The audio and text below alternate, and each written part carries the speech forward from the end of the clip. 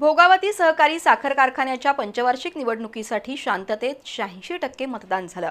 भोगावती साखर कारखान्याच्या इतिहासात प्रथमच कोणताही गोंधळ वादावादी न होता चुरशीनं मतदान झालं.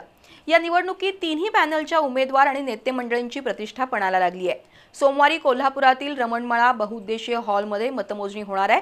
त्यातून भोगावतीची साखर कुणाच्या ताब्यात याचा फैसला होणार आहे.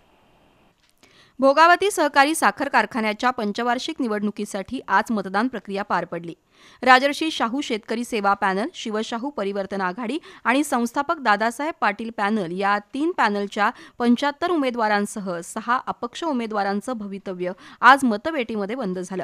आज सकाळी शिवशाही पॅनलचे प्रमुख सदाशिव चरापले तसंच सत्ताधारी गटातील उपाध्यक्ष उदयसिंह पाटील दादासाहेब पाटील पॅनलचे धैर्यशील पाटील यांनी कौलवमध्ये मतदानाचा हक्क बजावला.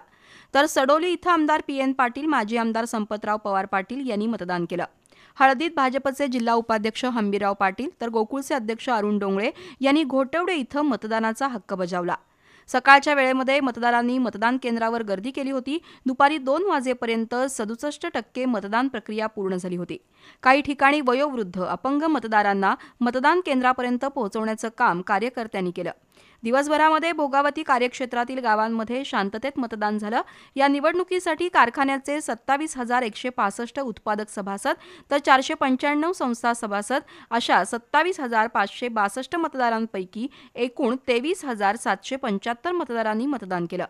संध्याकाळी पाच वाजेपर्यंत एकूण शहाऐंशी टक्के मतदान झालं. सोमवारी रमणमळा इथल्या बहुउद्देशीय हॉलमध्ये ब्याऐंशी केंद्रावर झालेल्या मतदानाची मतमोजणी छत्तीस टेबलद्वारे होणार आहे अशी माहिती निवडणूक निर्णय अधिकारी डॉक्टर निलकंठ खरे यांनी दिली.